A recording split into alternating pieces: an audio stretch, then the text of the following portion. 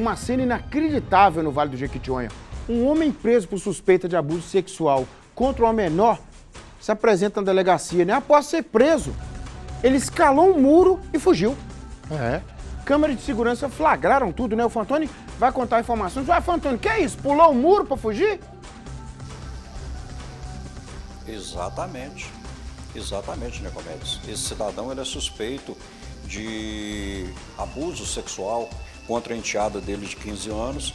Ele, após ter a ordem de prisão expedida, ele ficou quase um mês foragido, mas depois resolveu se, eh, se apresentar espontaneamente. Na última terça-feira ele foi à delegacia, se apresentou, e aí, durante o momento em que tem um procedimento todo legal para formalizar a prisão dele, o recolhimento dele, solicitação de vaga, encaminhamento para o presídio. Fato é que ele se ele se aproveitou do momento em que os policiais estavam envolvidos com essa atividade administrativa, cumprindo os protocolos formais, e simplesmente passou por onde ninguém imaginava, nunca alguém tinha feito uma situação, praticado um ato como esse.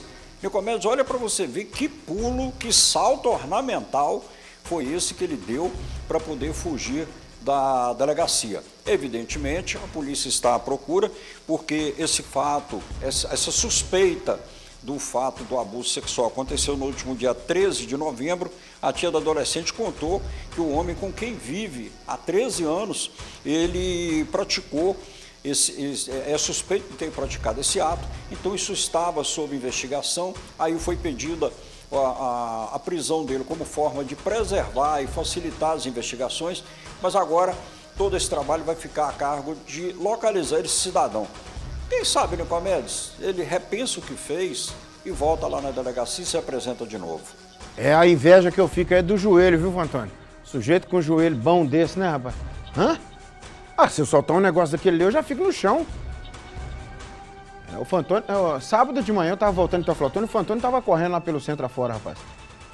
O joelho dele tá em dia, mas o meu não tá não.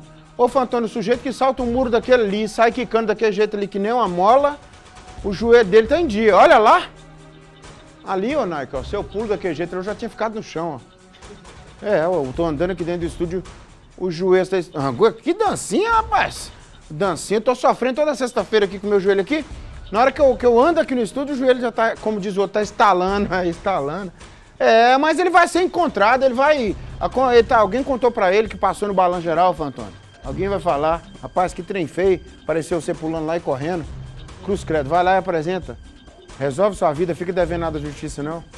É, o desespero de querer correr. Não é a forma correta de sair de uma condenação, né? A forma correta é estar junto com o advogado, né, assinar a procuração, pagar os honorários justos, né? E, e responder aos autos. Aí seja o que Deus quiser, né? É, misericórdia. Ê, Fantônio, você tá fechando a semana com essa então, né? Fantônio ainda volta hoje, ô? Ele volta ainda hoje? É. É, rapaz, você separou essa do, do homem saltando o muro pra sexta-feira, né? É, rapaz, não é brinquedo não.